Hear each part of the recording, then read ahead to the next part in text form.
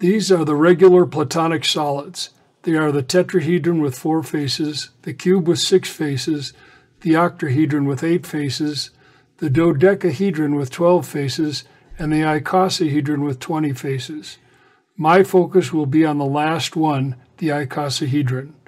Icos is from the Greek meaning 20 and hedron meaning faces.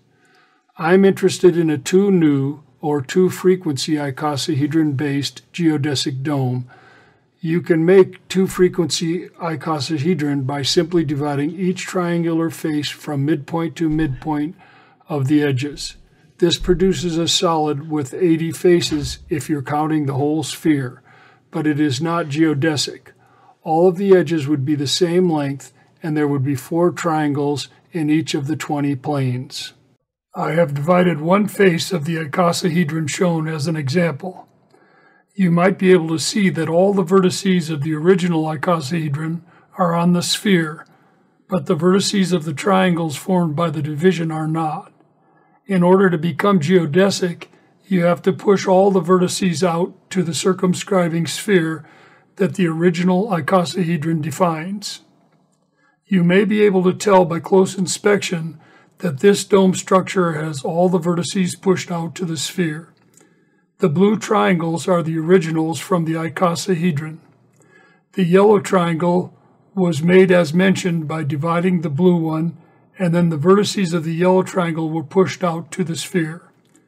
This puts each triangle on its own plane and changes the length of the edges. Because I'm only interested in half of the sphere, I will end up with 40 faces 65 edges, and 26 vertices. Generally, in dome construction, the edges are referred to as struts. There will be two sizes of struts, which I will refer to as long and short. Two frequency domes and any even frequency dome have a nice flat equator that will sit on level ground. I chose two frequency for simplicity and to keep the parts count down to a reasonable number. I built models out of toothpicks and matchsticks and one out of cardstock just to get acquainted with the shapes and construction. If you're dying to get your hands on something real as opposed to a model or a drawing, then you need to know the length of the struts you will use and how you plan on connecting them at a vertex. You can skip ahead to the appendix at the end to see how I calculated the strut lengths or just use the chord factors from the table. Just decide what radius you would like your dome to be and then multiply that by the short strut chord factor to get the length of a short strut and by the long strut chord factor to get the length of a long strut. Figure out how much space your hubs or other method of connection will take up and you're ready to go.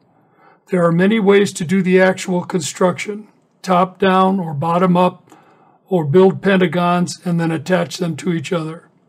Here's a quick representation of going from the ground up.